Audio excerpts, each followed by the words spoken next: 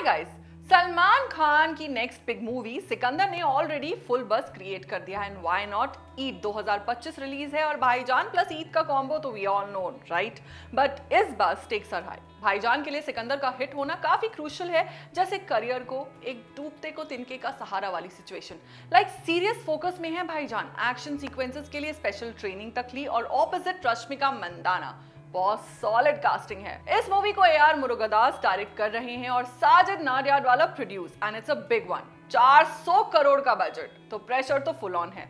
अब देखो, सलमान का स्टार्डन तो बॉस वो जहाँ खड़े हो जाए, वहीं से लाइन शुरू होती है। बट इंडस्ट्री प्रेशर कभी कम नहीं होता स्पेशली व्हेन पिछली कुछ फिल्म्स का रिस्पांस थोड़ा ऑफ़ रहा हो। आई मीन अक्षय कुमार की सिचुएशन देख लो पब्लिक का एक्साइटमेंट धीरे धीरे लो हो रहा है। और सलमान खान की लास्ट कुछ मूवीज़ टाइगर थ्री किसी का भाई, किसी की जान, राधे, दबंग थ्री इनका बॉक्स ऑफ़िस रेस्पॉन्स भी डिसअपॉइंटिंग रहा। और हाँ पिछली परफॉर्मेंस का इम्पैक्ट नेक्स्ट प्रोजेक्ट पे तो पड़ता ही है। भाईजान के अगले बड़े प्रोजेक्ट टाइगर वर्सेस पठान और एटली के साथ एक ह्यूज फ़िल्म लाइंड अप है।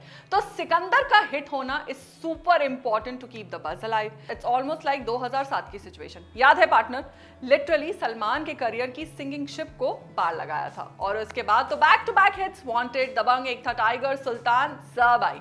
So maybe Sikandar will be another game changer for Salman Khan. और अब बात करें लुक्स की। भाईजान का लुक भी फुल हाइप में है। Did you guys catch his recent social media post black vest, grey lowers and those killer biceps. Oof, pure fire. Fans are loving it and obviously एक आइकॉनिक शर्टलेस एक्शन सीन तो होना ही है right right? वैसे भी कुछ trolls भाईजान के weight gain पे बातें बना रहे थे। Remember that viral dance video और उसके बाद वो वायरल क्लिप जिसमें भाईजान पसलियों को पकड़ के पेन में दिख रहे थे।